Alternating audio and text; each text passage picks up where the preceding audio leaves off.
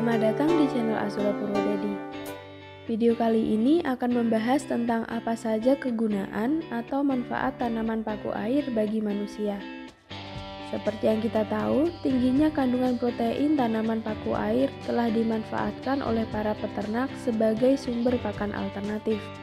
Tapi sebenarnya, tanaman paku air memiliki lebih banyak manfaat bagi manusia. Di antaranya, Tanaman paku air mampu menjernihkan air limbah. Duckweed dapat mengolah aliran air limbah peternakan, limbah kota, bahkan limbah industri menjadi air bersih. Salah satu contohnya ada sistem pengolahan air limbah Rumah Sakit Mirzapur Bangladesh dengan lemna yang dirancang oleh grup PRISM. Di sini dijelaskan bahwa pemanfaatan duckweed menghasilkan air bersih dan meningkatkan nilai ekonomi dengan memberikan lemna kepada ikan nila yang menghasilkan ikan segar dan bebas patogen. Demikian juga di Chengdu University, lemna minor dimanfaatkan sebagai pengolahan air limbah dan aplikasi biomasa. Lemna dapat tumbuh di air limbah peternakan dan limbah industri di mana air bersih yang dihasilkan dapat dimanfaatkan sebagai irigasi atau yang lain, sedangkan lemna dapat dijadikan pakan ternak atau sebagai bahan bakar alami. Mengolah tanaman paku air dengan tepat juga mampu menghasilkan bioenergi.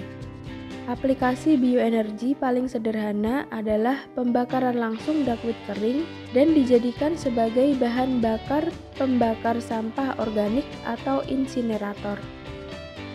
Menurut Pilone Machu, mereka percaya bahwa tanaman paku air adalah jawaban untuk sumber daya terbarukan dan berkelanjutan karena pertumbuhannya yang cepat. Gambaran sederhana pengolahan tanaman paku air menjadi biofuel adalah dengan mengeringkan duckweed dan mengubah ekstraknya menjadi etanol, yang kemudian dicampur dengan petroleum untuk dapat dijadikan bahan bakar mobil. Tanaman paku air juga dapat dimanfaatkan sebagai pupuk organik. Pupuk hijau dengan bahan dasar tanaman paku air sangatlah efektif untuk meningkatkan unsur organik dan unsur hara dalam tanah sehingga akan lebih meningkatkan kualitas dan produktivitas tanah.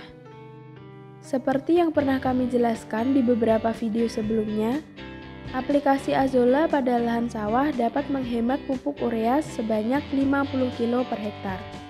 Hal ini pun terbukti karena faktanya dibandingkan dengan perlakuan 100% pupuk N atau urea Pemberian 50% azola segar dan 50% pupuk N mampu meningkatkan hasil panen sebesar 29,31%. Tanaman paku air spesies duckweed sedang dioptimalkan oleh beberapa startup di beberapa negara sebagai suplemen makanan dan produk protein. Sebut saja seperti Hinoman, Green Onyx, dan Parabel.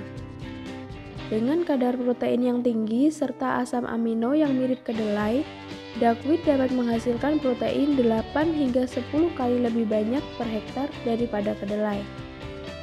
Di beberapa negara seperti Thailand, Burma, dan Laos, Wolfia telah dijadikan makanan sehari-hari dengan mencampurkannya dengan telur, sup, atau sayur yang lain.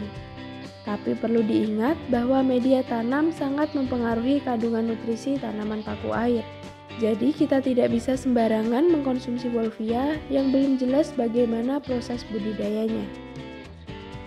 Dengan kemampuan tanaman paku air dalam menyerap nitrogen, fosfor, dan nutrisi lain, serta diimbangi dengan pertumbuhannya yang sangat cepat yaitu 13 hingga 38 ton berat kering per hektar dalam satu tahun, tentu tidak heran bahwa tanaman paku air digadangkan sebagai pakan alternatif alami protein tinggi yang paling tepat untuk pakan ternak. Seperti yang kita tahu, di Indonesia saat ini tanaman paku air masih difokuskan untuk pakan berbagai ternak, mulai dari ikan, unggas seperti ayam dan bebek, mamalia seperti kelinci hingga sapi. Pemanfaatan tanaman air bagi ternak telah terbukti mampu menghemat biaya pakan hingga 70%. Demikian video kali ini, semoga informasi yang kami bagikan bermanfaat. Silahkan klik like, subscribe, dan share jika Anda suka dengan video ini. Dan jangan lupa tonton video kami yang lain jika Anda tertarik dengan tanaman paku air. Terima kasih, salam Azola Purwodadi.